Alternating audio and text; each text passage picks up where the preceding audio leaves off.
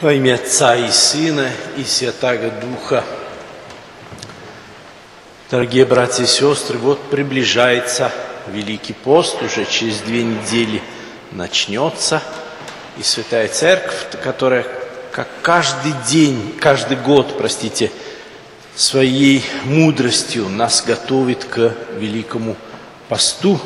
Она уже на прошлой неделе нам напоминала и предлагала Евангелие о мытаре и фарисее, чтобы мы понимали, что означает молитва, что означает настоящая молитва, неформальная, что означает покаяние и что означает неосуждение. И вот сегодня нам предлагает эту удивительную притчу о блудном сыне, а через неделю еще притчу о страшном суде, после чего мы будем вспоминать первого числа грехопадение, изгнание Адама и Евы из рая, и после чина прощения, попросим, когда попросим друг у друга прощения, вот войдем в Великий пост. Надо сказать, что эти все евангельские чтения, они чрезвычайно важны, потому что дают нам понять глубокий смысл поста. И вот сегодня Евангелие о блудном сыне нам дает понять, что означает прощение Бога. И более того, вы знаете, что мы никогда не изображаем на иконах Бога Отца. Но вот у нас есть и словесная икона Бога Отца. Именно вот эта притча. Ведь мы условно ее называем притчей о блудном сыне, а на самом деле следовало бы ее назвать притчей о любящем отце, притчей о любви отца, которая всегда безусловна, вот эта любовь, которая совсем не зависит от нашего поведения, потому что Бог есть любовь, и Он нас любит всегда – даже когда мы ошибаемся, даже когда мы совершаем какие-то грехи. Вот как раз об этом и э, притча о блудном сыне.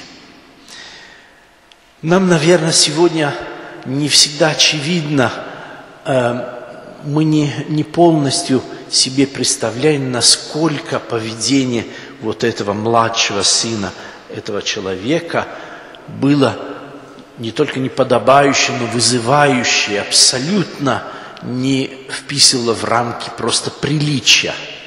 Ведь сказать в патриархальном обществе, сказать отцу, дай мне часть имения, дай мне то, что должно мне э, быть после твоей смерти, сказать это отцу при его жизни, означает, что вот этот отец для этого младшего сына, он уже умер, его нет.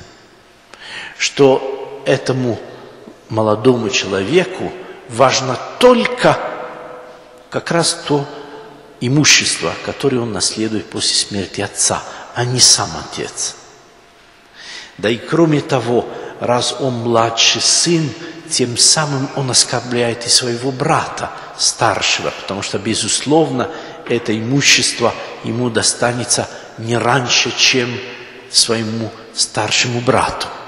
Поэтому вот этот э, блудный сын, заявляя об этом своему отцу, фактически исключается из всего сообщества вот этой семьи. Он принял решение, что он не будет иметь к ним никакого отношения больше никогда. И вы знаете, чаще всего в проповедях или когда мы читаем этот текст дома, чаще всего мы обращаем внимание на вторую половину этой притчи, когда сын возвращается домой, и отец его обнимает, принимает в своих объятиях. Но на самом деле первая половина, она не менее удивительна. Вот этот отец, которого сын оскорбляет – сын требует деньги, имение и так далее, а этот отец прекрасно понимает, что этот сын еще не взрослый, что он не способен э, правильно пользоваться этими деньгами, но тем не менее дает ему. Он ведь мог ему отказать. Но этого не делает, потому что для него важнее всего свобода этого сына. Свобода даже тогда, когда он понимает, что, наверное, он согрешит. Наверное, он не сможет, как взрослый человек, пользоваться, правильно пользоваться этими деньгами, благами. Но дает ему. И это для нас очень важно. Это нам дает меру – то есть нам дает понять меру э, важности нашей свободы. И как мы друг к другу должны относиться. То есть с каким предельным уважением к свободе каждого человека.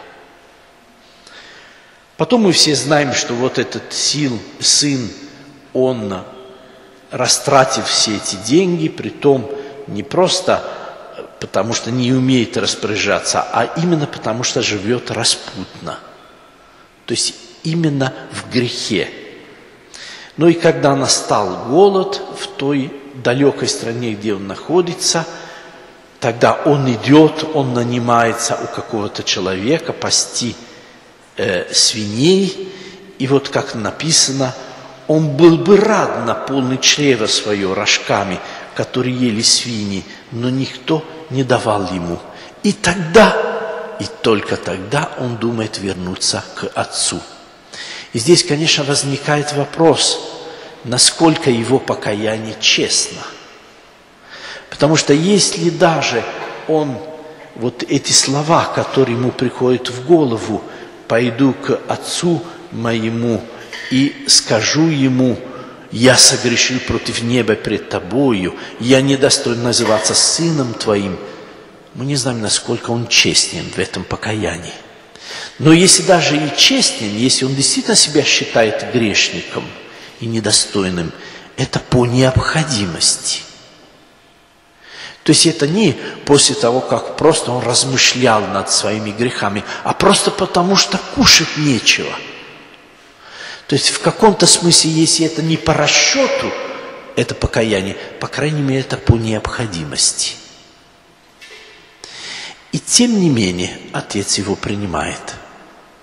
Притом не только понима, принимает, как вы знаете, видя его еще далеко, он побежал ему навстречу и, как написано, пал ему на шею.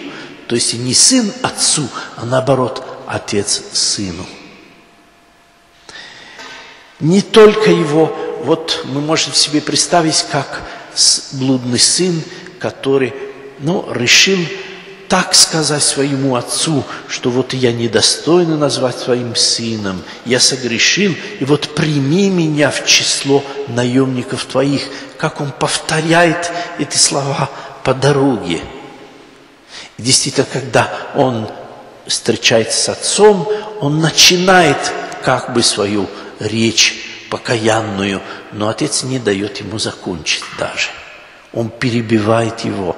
Он не хочет даже слышать эти слова, потому что для него важнее намного радость от того, что сын вернулся.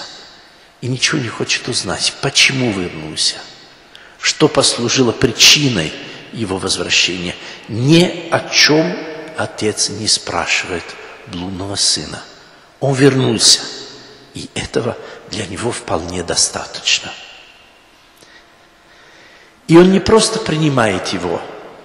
Принесите лучшую одежду и оденьте его, и дайте перстень на руку его и обувь на, на ноги. Перстень – это символ власти.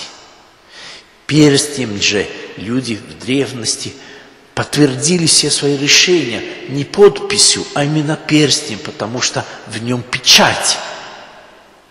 Значит, отец хочет дать чувствовать этому сыну, что он полностью доверяет ему, несмотря ни на что. Он не просто вернулся, он не просто его принимает как сына, но дают ему еще и власти.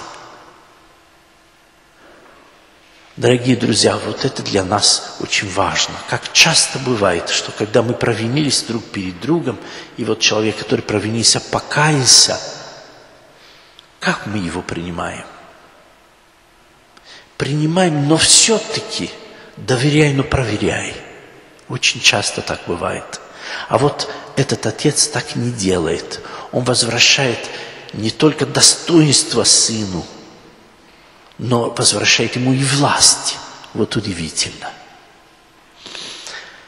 А потом вторая половина притч, третья, может быть, даже половина, когда старший брат недоумевает, и он недоволен.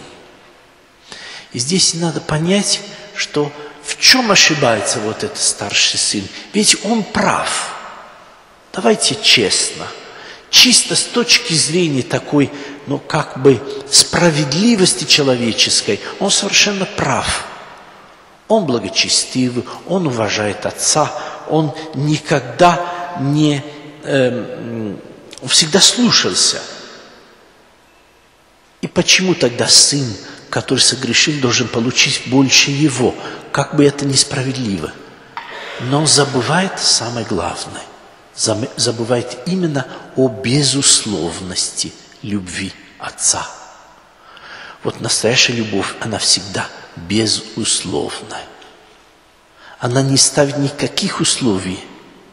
Вот это, наверное, самое важное, что показывает нам эта притча – мы, кстати, не знаем, что стало потом с этим старшим сыном, когда отец ему сказал еще и замечательно, и не случайно, то, что брат, когда встречается, старший брат, когда встречается с отцом и не хочет выйти, и, и в этот раз отец выходит ему навстречу, как и младшему его брату – вот в разговоре с отцом старший сын не называет своего брата братом.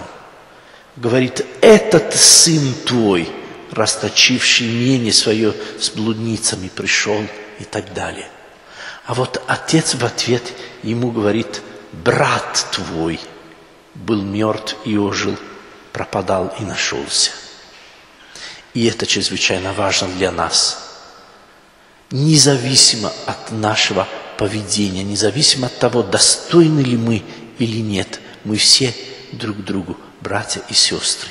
Не должны об этом забывать. Мы не знаем после этого, что сделал этот старший сын. Вошел ли и также сорадовался вместе с отцом возвращению своего брата или нет. Но для нас э, пример поведения остается вот эта безусловная любовь отца ко всем. Вот к младшему сыну, который согрешил, и даже к старшему, который всего лишь не понял, что такое любовь, что любовь всегда бывает безусловно.